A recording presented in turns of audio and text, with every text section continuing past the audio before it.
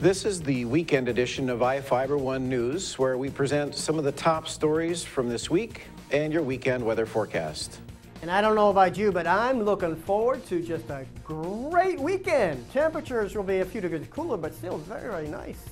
All the details coming up in just a few minutes. I'm Roger Adelson.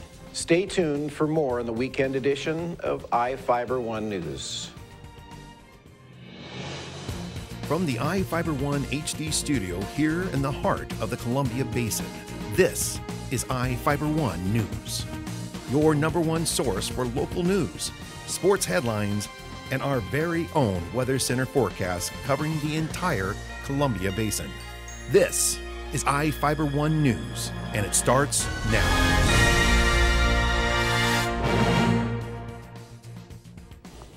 One of our top stories for this week was about how a Frontier Middle School student's idea raised money for families affected by the Oso landslide. Here with the story is Jeff Chu. Frontier Middle School cafeteria was hopping last week in Moses Lake, all for a good cause. About 100 Frontier students danced after school and raised about $950 to help families affected by the Oso mudslide disaster. The fundraising dance was seventh grader Devin Dietrich's idea. I was watching the news and I seen all the people that lost their homes and I thought I needed to do something about it and I came up with a fundraiser. Devin said when he learned about the mudslide that killed more than 30 and wiped out the small Snohomish County community, he had to help. Frontier always helps people out and I just thought that they needed help with donations because a lot of people lost their homes and I needed to do something. Frontier Middle School counselor Dana Santos, who is the Associated Student Body Leadership Advisor, helped Devin organize the event. Devin publicized the fundraiser through Facebook and other social media, which Santos said the school encourages in a positive way. Well, first, Devin, like he said, he wrote me a letter actually right after the mudslide happened.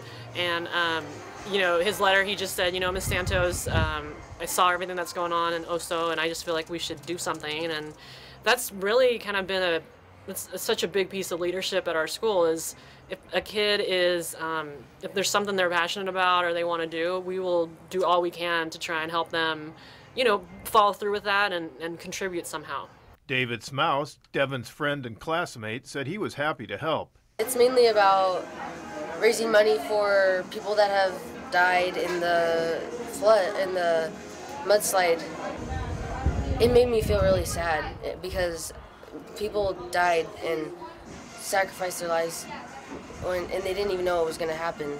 Frontier seventh grader Sherry Gonzalez said she was glad that Devin took a stand to help the Oso families. Uh, this fundraiser is mainly about helping out the victims for the mudslide and especially like helping out Devin because this was his idea to help out the victims and like just making sure that his activity net was the best that it could be.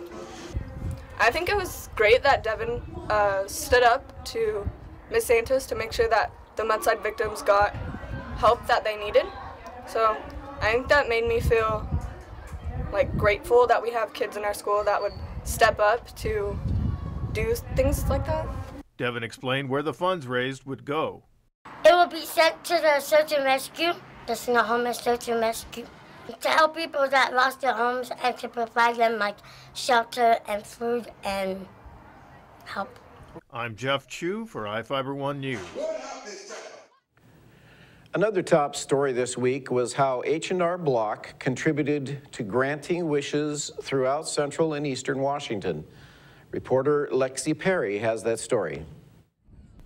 A block party helps seriously ill children relax and enjoy time with friends, face painting, and even furry animals.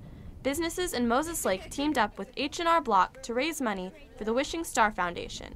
The organization grants seriously ill children their sometimes final wishes. I've had friends who've had children who have gone through their program, and they're all, thankfully, they're all still alive after all these years, but they were so thankful for being able to grant the wish to their child because, you know, after all the medical expenses, they couldn't afford to do anything. So it's a fabulous program for these families that are under so much stress. Studio Overstreets hosted game stations for children to play together, win prizes, and show off their art skills. The fire department gave tours of their trucks and offered fingerprinting activity for parents to help officials locate their children if ever lost. Harris says the H&R Block is already looking forward to planning another event next spring. For iFiber One News, I'm Lexi Perry. Now we take a look at individuals with warrants for their arrest in Grant County. This is Sheriff Tom Jones with the Grant County Sheriff's Office. Each of the people you see here have a warrant for their arrest. If you see any of these people, we ask you do not attempt to detain or apprehend them, but call us at 509-762-1160 or send us an email at crimetips at co.grant.wa.us. If the person is presenting a danger, call 911. With your help, we can bring these people to justice and make our community safer. We'll be right back after this.